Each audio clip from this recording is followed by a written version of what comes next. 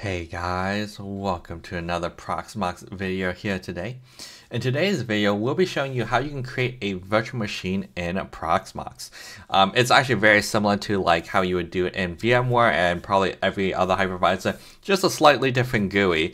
Um, so we'll be using this as essentially our template um, that will hopefully eventually um, automate with Ansible, um, similar to how I've done a lot of my other videos in regards to creating a virtual machine and then getting all the things set up with it. So um, I'm hoping to spend a little bit of time this week with Ansible and Proxmox to kind of iron that out too. So, but in this video, we'll just be creating the VM to essentially get the template created um, and be ready for that automation. So let's get started.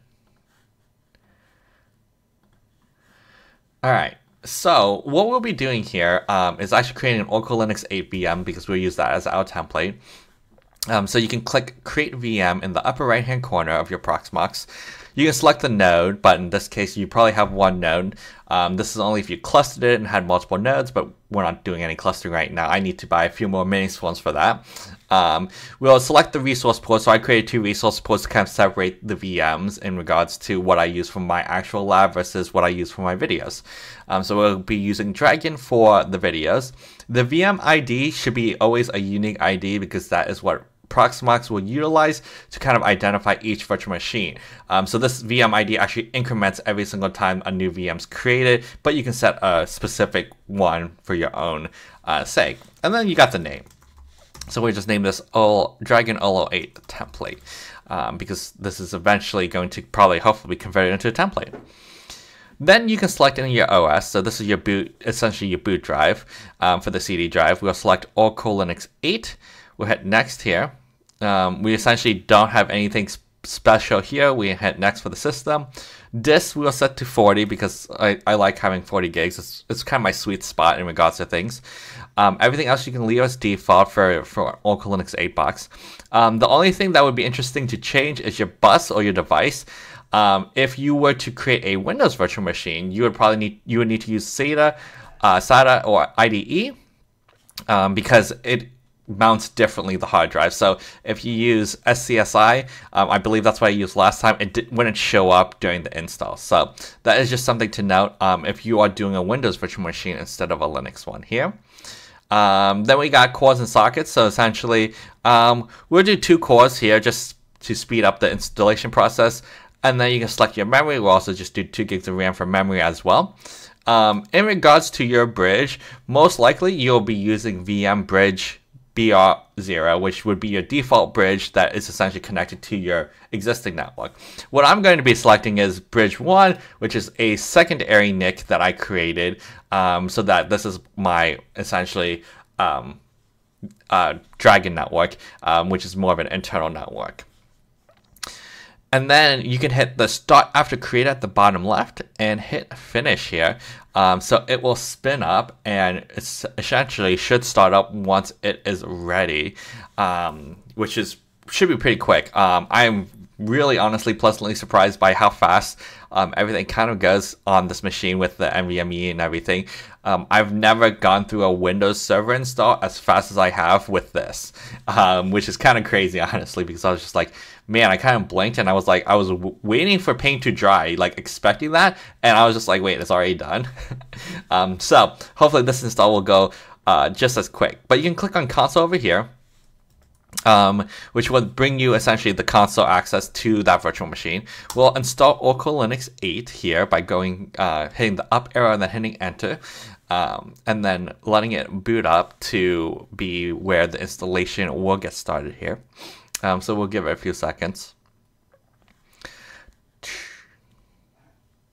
And the installation GUI should pop up here. Starting the installer. There we go. See? Reporting a bug, at logs. And here we go. It is going to pop now. There we go. So essentially, this is like the, a similar installer. So if you watch my, um, like one of my like first few videos that I created for this YouTube channel, we actually went through something very similar with VMware. Um, so, you know, you select your uh, language as English unless you want to do a different language. I've been curious about doing a different language and then realizing I probably would just decide to put it back, re- rebuild it in English. um, you can see the disk installation. We'll check that because we'll leave everything as default. Um, we're going to do just the minimal install um, because we don't actually need anything extra. It's just a server essentially. So we'll just do the minimal install, which will make it very quick as well. Um, we'll set a root password here so that we can log in as root once it's done as well. Um, and essentially that is all you need to essentially set. Uh, we can set the time zone too. Um, in here, Chicago done. Um, and we can do the NIC, but we're gonna we'll we will do the NIC stuff on the actual virtual machine itself instead. So we can hit begin installation here. Um, so it will prepare to install, create all the um, mappings for the drives, download the needed packages, which is super nice doing the minimal install because it will only download the packages that you need as opposed to, you know, like everything that you need for GUI and all that. So this will go significantly faster than my GUI install if you were to use a GUI install. So there's only like 405 packages. And as you can see, it's going by pretty quick. So while that goes through, I'll show you a little bit more about Proxmox here. So we have, if you select a VM, you can see the summary, which will give you graphs of CPU usage, memory, network traffic, and disk I/O. Um, kind of give you an overview here of the HA state, which notes on how much CPU and memory it's using. Um, then there's the hardware, which is essentially similar to the interface that we had before in regards to selecting our hardware. So if you hit on any of these, you can actually hit edit and then reconfigure it to do whatever you want. So if you want to add more RAM, you could. If you want to remove RAM, you could. Um, I don't think it's hot swappable off the top of my head. Um, so you would have to do a reboot to actually apply the, the change for those ones. Um, but you can as well as add more devices. So you can add another hard drive, add a uh, CD drive or network NIC uh, in regards to if you had two NICs you wanted to add for it. Um, but you can essentially select and edit or add more if you needed to. Um, there's a few things that you can do with certain things. So like a hard drive, you can deattach or move storage or reassign owner or resize. There's a few options there. Um, then kind of looking down, you can also do snapshots. So you can actually take a snapshot of the VM as well in Proxmox um, so that you can essentially revert back, um, which is super nice if you're doing something very sketchy and you're like, I'm not entirely sure how this is going to work and you don't really have a rollback plan. So that is also very nice. Um, so we'll go back to the console, which is just, you know, the console access here. Um, and we will uh, fast forward the video to when this is essentially finished installing. All right, so now it has finished doing the installation, which was actually like another 30 seconds. Um, now we can hit reboot system in the lower right, uh, and this will essentially uh, exit out of the installer and reboot the machine so that we can get into a console. Um, so we'll enter here.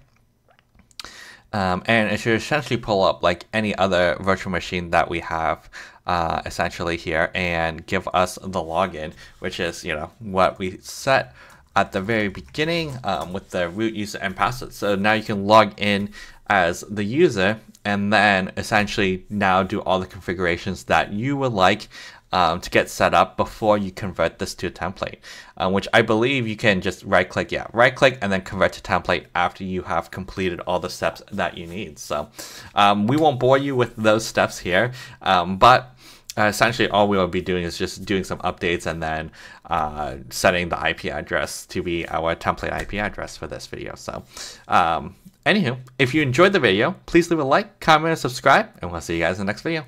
Bye!